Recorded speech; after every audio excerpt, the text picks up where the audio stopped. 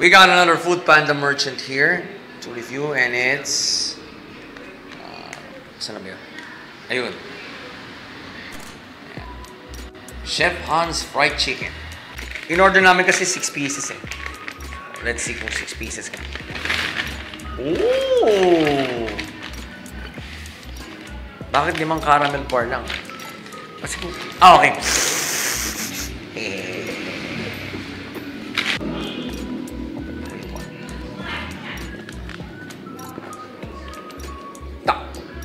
Sarap nito! Sus Maria. Oh! One, two, three, four. Okay, tama. Six pieces yan. Na pagdating naman sa sa taste test ng mga fried chicken. Sarap. Being oily is somewhat forgivable. Kasi fried chicken nga eh. I-deep fry yan. So, yun nga lang, hindi hindi nila na-drain masyado yung, yung oil. But, it's forgivable. Kasi nga, fried chicken. Now, the way they glazed the um, the the chicken,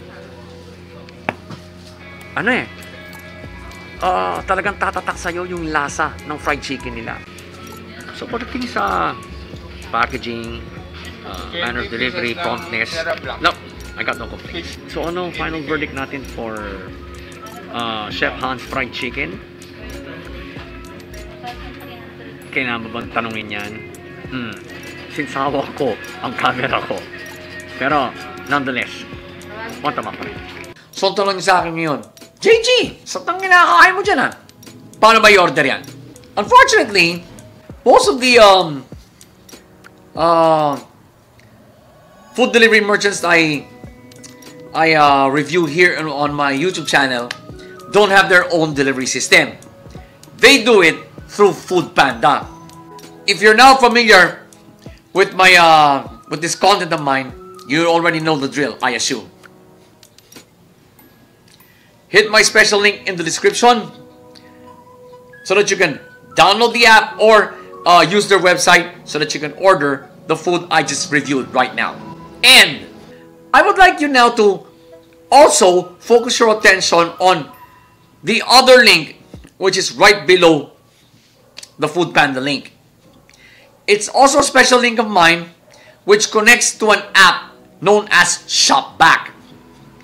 I myself am a user of their service. Uh, may app kasi ako.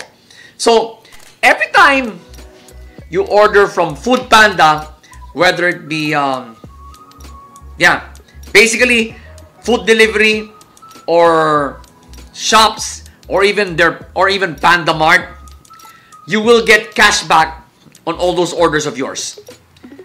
All you have to do, of course, click my special link, download the app, and well, set it up really good para seamless ang ang uh, pag-avail nyo ng cashback. Ano pa hinihintay natin? I-click nyo na yan and happy ordering!